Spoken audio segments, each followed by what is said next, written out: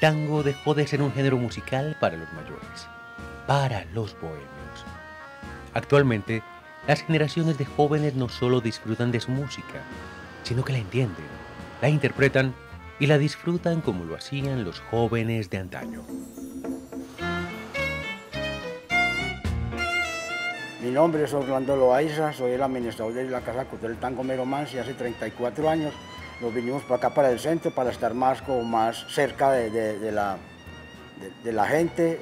Cuando nosotros empezamos a trabajar acá, nunca pensamos eh, en una cantina, en un bar, sino en un centro cultural, que la gente viniera a disfrutar del, tango, del ambiente, que es muy importante, de los, de los, los cuadros que tenemos acá, que que los conseguimos con mucho sacrificio.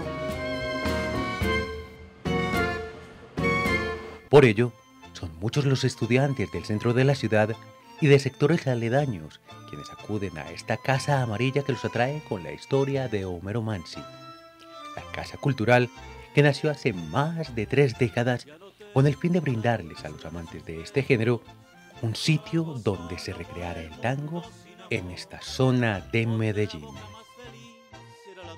Pero aquí los artistas que vienen, vienen a cantar, a disfrutar del tango, parejas de baile que vienen a bailar.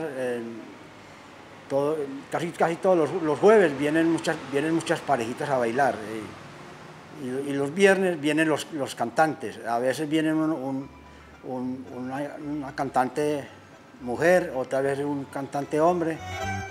y soberbia, cual diosa pagana. En esta esquina se escuchan las voces de aquellos artistas de las décadas del 40 o el 50, pero también de quienes surgieron en los años 90 y 2000, quienes, con sus letras, hacen apología al poeta gaucho, uno de los más grandes artistas que le dio Argentina al mundo.